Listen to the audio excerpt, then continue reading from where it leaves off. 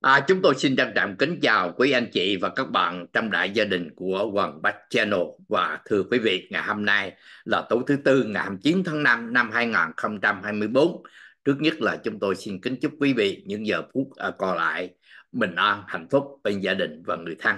Và thưa quý vị cũng như thường lệ bản tin buổi tối. Có lẽ là nếu mà nói tới bản tin buổi tối thì cái bản tin ngày hôm qua chúng ta không thể thiếu được có lý do là, là như thế nào? Ngày hôm qua là ngày kết thúc phiên tòa tới 21 ngày tức là 21 ngày kể từ cái ngày mà bắt đầu mà cái phiên tòa xảy ra là vào ngày 15 tháng 4 kéo dài cho tới ngày hôm nay thưa quý vị.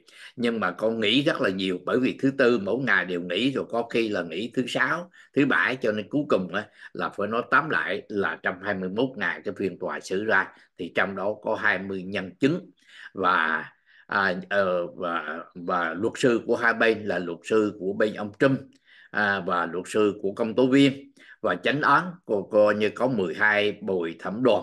À, bồi thẩm đoàn có tất cả 12 bồi thẩm viên trong đó nó có à, 7 nam và nam nữ trong đó có hai luật sư thưa quý vị và một kỹ sư về điện toán nữa vân vân và vân vân. Thì phiên tòa ngày hôm qua là tạm thời chúng tôi phải đưa rồi nhưng mà chúng tôi muốn nói ở bên ngoài phiên tòa phiên tòa ngày hôm qua thì tóm tắt lại là phiên tòa sau khi hai bên à, đúc kết lại thì bên à, luật sư của ông Trump là ông à, Todd Pence ông đúc kết lại sau đó ông trình bày và ông muốn gửi tới cho à, các bồi thẩm viên đó một cái thông điệp là đừng có tin gì những gì cô Hen nói. Đó là tất cả những đó là những cô Hen nói mà thôi là một người dân dối uh, nhất ở thế kỷ người dân dối nhất ở trong thời đại ngày hôm nay vân vân. Tức, tức là tìm mọi cách để mà bầu bẩn ông cô Hen mục đích là để cho bầu các bầu thẩm viên thấy là đừng có tin vào ông này nó tóm lại là như vậy. Nhưng mà bên công tố viên cũng à, phản phản biện lại vân vân và vân vân. Nhưng mà cuối cùng à, thì ngày hôm nay chúng ta biết là ngày hôm nay là cái gì thì chúng tôi sẽ lót nữa đó ngày hôm nay thì chánh án à, sẽ ờ, hướng dẫn cho các bồi thẩm viên. Và sau buổi chiều thì họ nghỉ. Và ngày mai thì bắt đầu họ trở lại để nghị án. Tức là do đó các bầu thẩm viên căn cứ vào đó. Thì ngày hôm nay đó ông chánh án ông tòa đó ông nói là chỉ ngoại trừ các ờ, gọi là luật sư của ông Trump và luật sư của công tố viên. Ngoài ra không có bất cứ ai tham dự trong phiên tòa này thì ngày hôm qua chúng ta cũng thấy có sự xuất hiện của các con của ông Trump. Nhưng mà ngoại trừ một người mà gọi là ông cho là ái nữ đó là Ivanka là không có. Suốt trong cái phiên tòa kéo dài 21 ngày thì Ivanka cũng như chồng không hề xuất hiện. Nhưng mà có chỉ có mấy người con xuất hiện mà thôi. Cái điều đó chứng tỏ là Ivanka hình như là xa rời không muốn dính dáng gì tới cái vấn đề giữa ông Trump và những cái uh, có những những cái phiên tòa hình sự. Thưa cô à, thưa quý vị nhưng mà bây giờ thì chúng đó là ở bên trong phiên tòa bây giờ nó bên ngoài phiên tòa. Cũng điều rất là đặc biệt nha. À, đặc biệt ở chỗ nào? Đặc biệt là chúng ta biết là bên uh, bên ông Biden á, là từ trước tới giờ uh, ông né tránh lắm. Ông không có dính dáng vào vào các cái phiên tòa của ông Trump. Mà ông Trump đó là kể từ ngày mà ông Biden nhận chức là ông cứ tấn công hoài mà ông Biden ông không hề nhắc lại. Ông Trump tấn công Biden mà Biden không hề nhắc. Nhưng mà chừng lỗi hơn một tháng trở lại đây thì nó lên không thể nín ờ, không thể nhịn nhịn hoài được. Mà ông Biden bắt đầu là công khai tuyên bố à, công khai tuyên bố tuyên bố những cái điều ví dụ như ông nói là sau cái ờ, cái cái cuộc bầu cử năm 2020 đó ông Trump thua cuộc. Cho nên ông bắn loạn tinh thần và ông không có cái đầu óc đầu óc của ông loạn rồi cho nên ông nói đâu không ra đâu ấy. Đó là ông bắt đầu tấn công và sau này tấn công. Thì thưa quý vị ngày hôm qua thì sau khi phiên tòa ở bên ngoài thì à, ở, ở bên trong thì chấm dứt còn ở bên ngoài họ tổ chức cuộc họp báo. Bởi vì sao? Chúng ta biết là lợi dụng ông Trump ông thường lợi dụng ở chỗ là đám đông mà báo chí rất là nhiều. Báo chí có hàng hàng năm bảy chục người ờ, và báo chí truyền thông đồ đầy đủ lắm. Cho nên họ phải tổ chức cuộc họp báo. Ngày hôm qua thì chúng ta thấy là bên ông băng ban vận động tranh cử của ông ờ, ông Joe Biden cũng lợi dụng cái thời buổi này. Chúng ta không, không nhường nhịn hoài. Để nhường nhịn thì ông Trump ông cứ ông kêu là ô đám tòa án là sang rừng phù thủy là do chỉ đạo của ông Biden vân vân và vân vân thì ngày hôm qua trong ủy ban vận động tranh cử của ông Trump lại xuất hiện với uh, với ba người mà nhân vật mới chứ không phải là ông ông Joe Biden nghe thưa quý vị. Thì sự xuất hiện đó là ai? Ông Robert De Niro, Niro. Ông này là một tà tử nổi tiếng của Hollywood và ông, ông nhận giải thưởng của Oscar. Cho nên ông này rất là nổi tiếng thì khi mà ông có tổ chúng tôi sẽ nói đưa cuộc họp báo ông của ông cho quý vị xem. Nhưng mà quý vị biết á, là ông này đó là một người tài tử mà nổi tiếng mà. Đây ông đây. Thì thưa quý vị ông trong cái cuộc họp báo đó ông ông nói rất là rõ. Ông nói tôi là người ở New York. Tôi không muốn thấy hình ảnh của ông Trump ở New York. Ông Trump phá hoại cái, cái nền dân chủ của New York và quý vị nghĩ coi ông có thể phá hoại cả nước Mỹ. Và nếu nó cho, cho cùng hơn nữa đó là ông phá hoại luôn cả thế giới đó thưa quý vị. Nếu mà Trump trở lại tòa bạch ốc thì dân Mỹ dân Mỹ sẽ giả từ này dân chủ. Ông nói ghi không? Nếu mà ông Trump mà trở lại tòa bạch ốc thì người dân Mỹ đây giả từ coi như chào bye bye này dân chủ nữa thưa quý vị.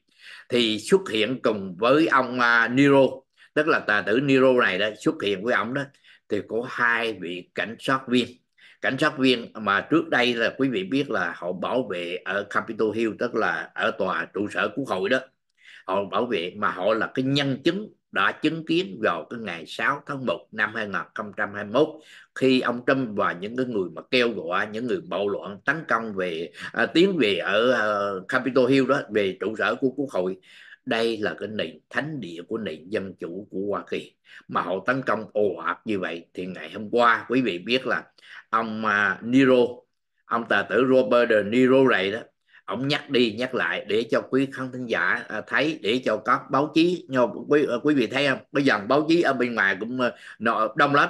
Cho nên khi mà họ nhân cái cơ hội này để mà chuyển đạt những cái thông tin.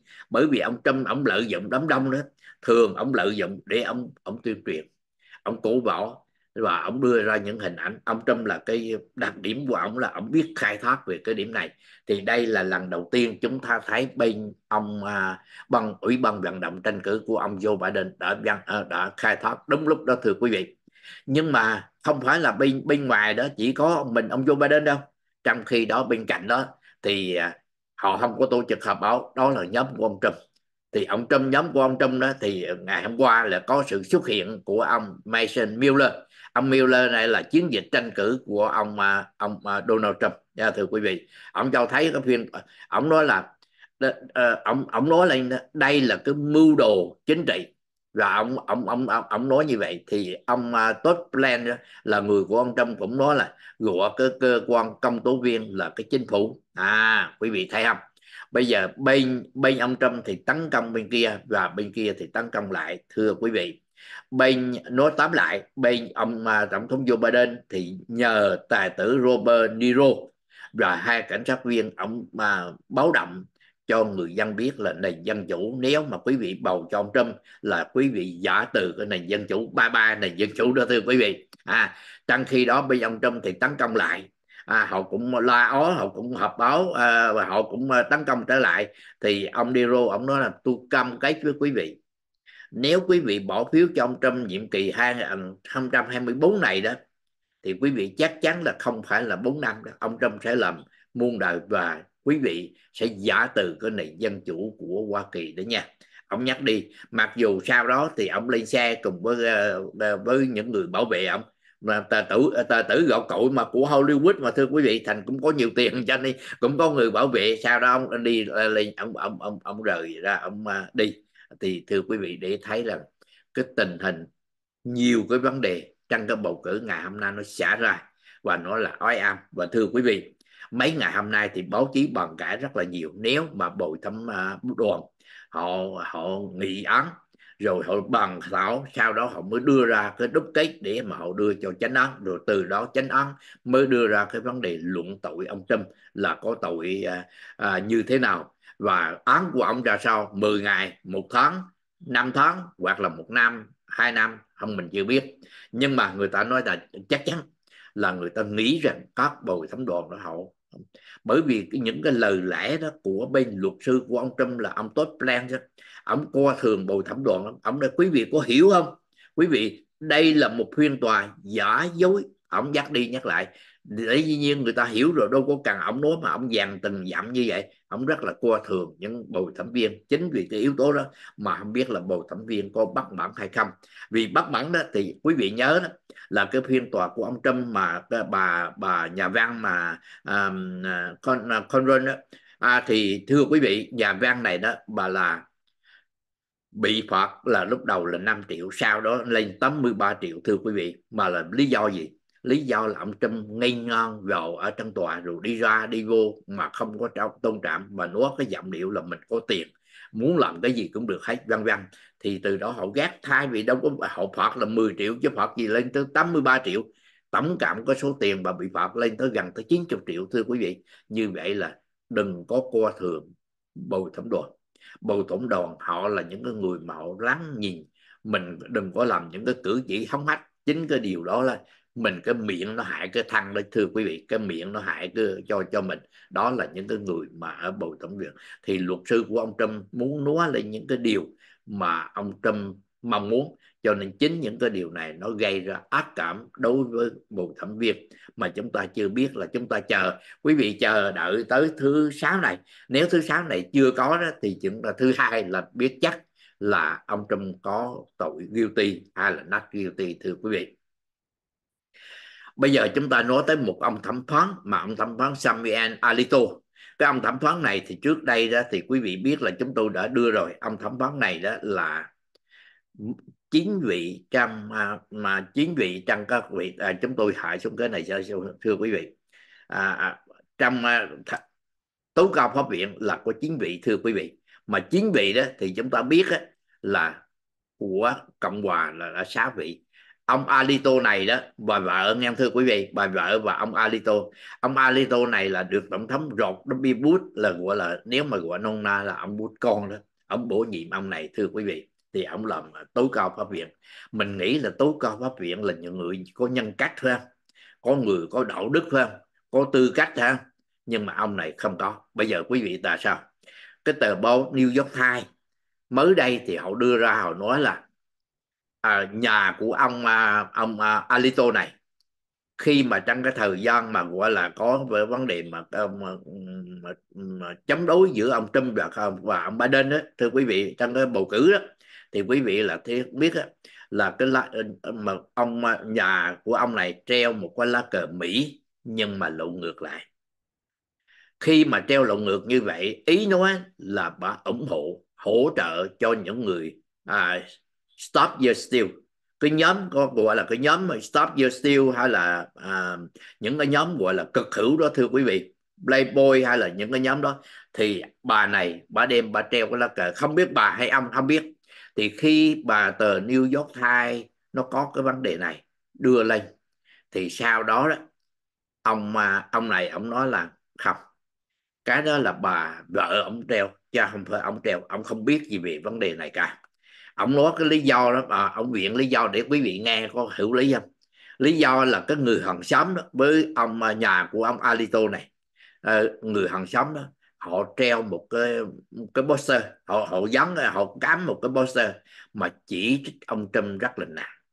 Cho nên bà này bà phản ứng trở lại đó, bà mới treo cái lá cờ lộn ngược, tức là nói là bà ủng hộ cho cái nhóm gọi là cái phong trào stop the steal đó, thưa quý vị. À ông này thì ông nói là, vợ tôi treo, tôi không biết, có lẽ vợ tôi cãi lộn với người hàng xóm.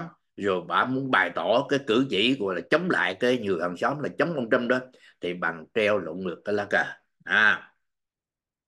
Nhưng mà sao đó chưa hết? Tờ New York Times nó khám phá thêm là không những cái nhà của ông này, mà ở ngay cái à, cái phòng ở cái à, cái nhà nghỉ mát của ông ở New Jersey ở gần bờ biển, là treo cái lá cờ mà có từ cái thời gọi là thời mà thời ờ, xa xưa là thời kháng chiến mà chống lại Anh đó, Mỹ chống Anh trong thời kháng chiến đó. Mà trong cái ngày bạo loạn ngày 6 tháng 1 thì những người bảo thủ cực đoan đó họ cũng mang cái lá cờ đó. Lá cờ có cái hình của cây thông đó thưa quý vị. Thì cái lá cờ đó nó cũng bày tỏ cái gì? Bày tỏ là ủng ủng hộ cho những cái phong trào stop the steal phong trào pro boy phong trào gọi là chống lại ông Joe Biden. À cho nên bây giờ đó thì trong những ngày vừa qua thì ủy ban của là ủy ban tư pháp của thượng viện đó họ viết thư họ họ lên tiếng họ yêu cầu ông Alito không nên tham gia vào những cái vấn đề quyết định trong cái vụ bầu cử của ông à, Donald Trump. À, trong cái vụ kiện mà tòa mà tòa tố cao pháp viện xét xử đó à, vào cuối tháng 6 này quý vị biết cái vụ kiện thứ nhất đó là ông Trump ông kêu tôi là tổng thống tôi có cái quyền miễn tố tức là tôi muốn làm gì cũng được. Nói tóm là tôi muốn làm gì cũng được. Thì khi bà chết khen tức là bà à, chánh án à, ở tòa án à, sơ thẩm ở ở Washington DC đó bà nói không được. Ông làm tổng thống đó, mà khi ông hết làm tổng thống ông cũng là thường danh thôi. Tổng thống không phải là vua. Nếu là vua thì ông có có quyền muôn đời ông muốn làm gì cũng được. Đây không phải là vua. Tổng thống chỉ có 4 năm. Nếu già lắm là 8 năm mà thôi. Cho nên ông không có cái quyền sao đó ông không có cái quyền vậy thì khi mà tòa sơ thẩm quyết định như vậy đó thì chống án lên tòa phúc thẩm nha chống án lên tòa phúc thẩm thì tòa phúc thẩm y án. Tức là y án là ông Trump không có cái thẩm quyền đó. Thì bây giờ bên luật sư của ông Trump gửi lên chống án lên tố cao pháp viện. Mà tố cao pháp viện đây đó là những người mà gọi là toa rập với ông Trump đó là uh, gọi là cùng bè đảng với nhau mà MAGA mà. Cho nên họ họ nói là từ tháng tư mà họ kéo dài họ nói là tới cuối tháng 6 này tháng 6 sắp tới đây họ mới giải quyết cái vấn đề này. Thì à, thì đa số báo chí cũng như người, người yêu cầu ông Alito không nên có trong cái quyết định này. Đó là thứ nhất.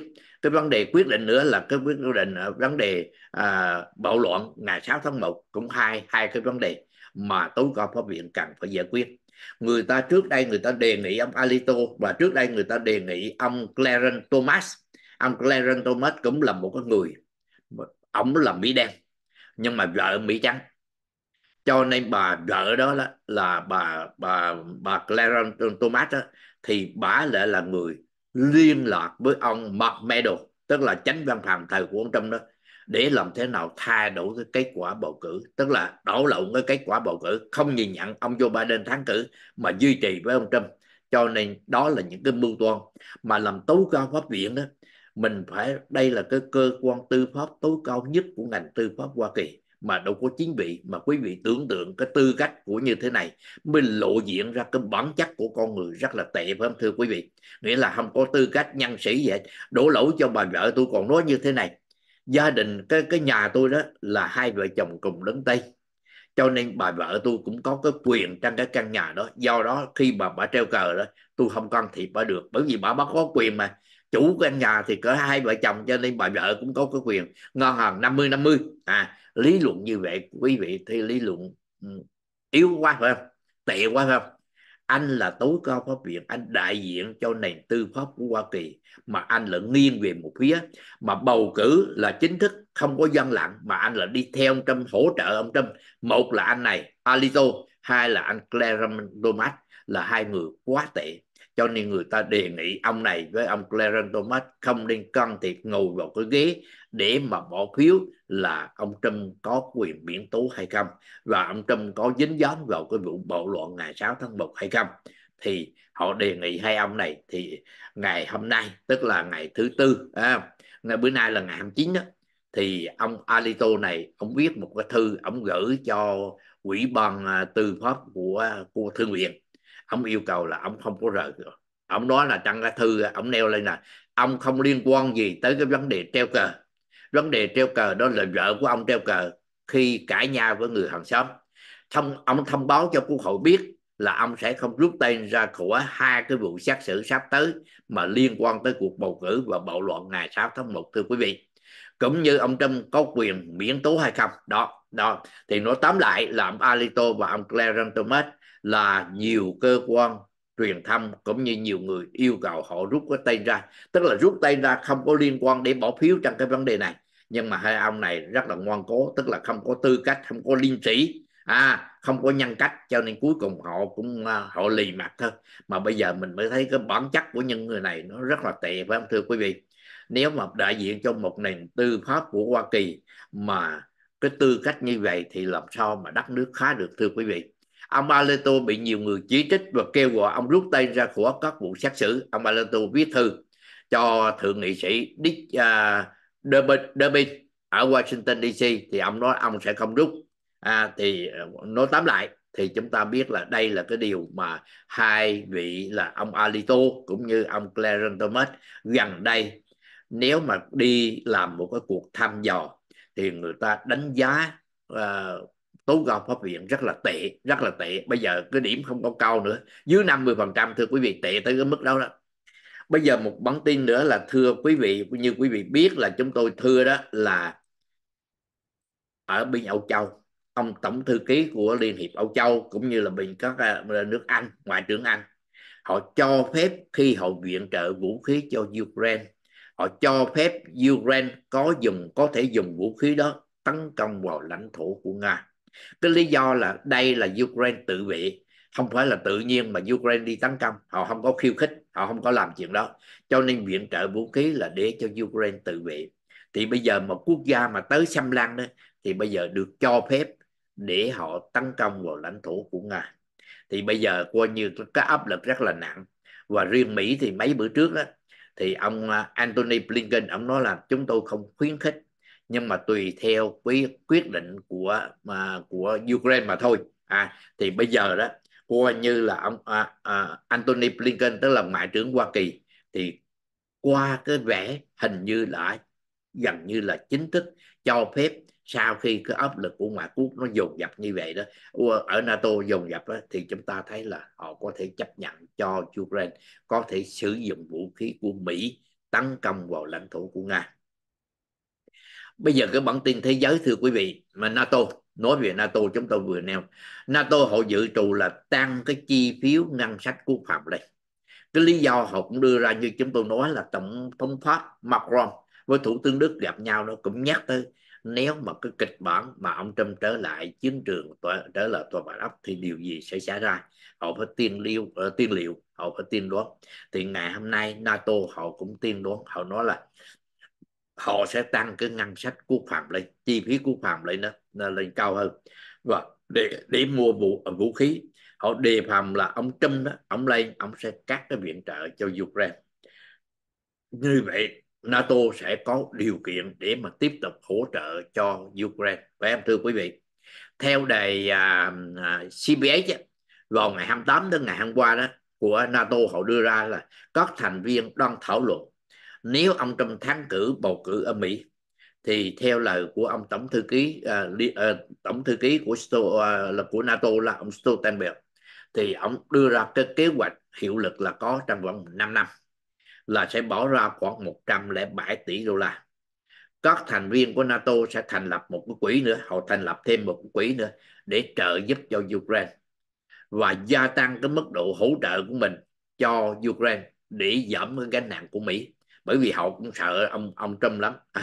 Ông Trump là lây nhậm ông là ông đây ông rút quân rồi ông còn rồi rút ra của NATO nữa. Cho nên họ cũng họ cũng tiên đoán thôi. Họ đi hai cái nước cờ. Nước cờ thứ nhất là ông Joe Biden sẽ thắng cử thì ông nói. Nhưng mà đặt giả sử ông ờ, Donald Trump lỡ có thắng cử thì sao? Thì họ cũng dự trù cái nước cờ này nữa thưa quý vị. Bây giờ nói tới uh, Israel tức là do Thái thưa quý vị do Thái họ cho biết là cái cuộc chiến ở giữa Gaza sẽ kéo dài ít nhất là cuối năm nay. Đây là cố vấn an ninh của do Thái nha. Họ cho biết chiến dịch tranh à, chiến dịch mà chống lại đó ở Gaza đó có thể kéo dài tới hết năm nay để đạt một cái mục tiêu là phá hủy nhóm vũ trang của Hamas. Chúng tôi có thêm tới bảy tháng chiến đấu nữa để củng cố thành công để có thể thành công và đạt mục tiêu là phá hủy quyền lực và khả năng quân sự của Hamas. À, chiến đấu với chúng tôi đó chính là phá hủy các cái khả năng về quân sự của Hamas đưa tất cả các thông tin trở về và bảo và bảo vệ cái và chấm dứt cái cuộc chiến tranh. Nhưng mà sẽ không có cái mối đe dọa từ ở Gaza. Thì ông nói một cách là cố vấn an ninh của Do Thái họ cho biết là cái cuộc chiến sẽ kéo dài khoảng cuối năm nay mục đích của họ là truy tìm và tận diệt cái nền tảng cái cơ sở căn bản của quân sự của Hamas để mà không có cái hậu quả trong tương lai ở giải Gaza nữa. Bây giờ thì thưa quý vị như là chúng ta biết là Ukraine họ có máy bay không người lái gọi tắt là U, à, uh, UAV đó. Họ tấn công rất là xa thưa quý vị. Cái UAV của Nga đó chúng tôi gọi tắt nha để quý vị nhớ là máy bay không người lái gọi là gọi tắt là UAV của Ukraine họ có thể tấn công đi sâu vào trong lãnh thổ của Nga tới 2.500 km nhận thưa quý vị. Một quan chức của Nga hôm ngày hôm nay là ngày 9 tháng 5 họ thừa nhận là máy bay không người lái đó của Ukraine họ có thể tấn công tới 2.500 km.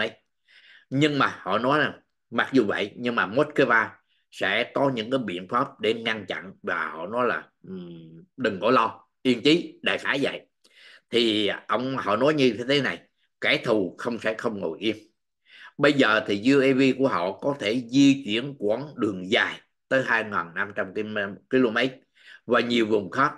Người đứng đầu của bộ phận tốc chiến về điện tử đó, bây giờ UAV đó, nó thuộc không phải là chiến trường súng thường, mà về bằng điện tử, cho nên họ biết người mà đảm trách cái tướng mà đảm trách về vấn đề à, mà tác chiến về điện tử đó, của lực lượng vũ trang, của à, không không gian của nga đó, họ cho rằng là, họ nói với hãng thông tấn sát là bây giờ đó, các máy bay không người lái của Ukraine có thể tấn xong sâu vào trong lãnh thổ của Nga. Đây là một cái điều rất là đe dọa, phải không, thưa quý vị?